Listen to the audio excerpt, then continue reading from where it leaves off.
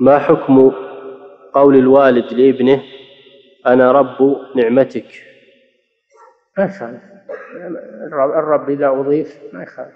لكن الرب المطلق هذا لا يجوز. أما أنا رب الدار أنا رب السيارة ما في مانع. نعم. يعني صاحبها. رب بمعنى صاحب. نعم.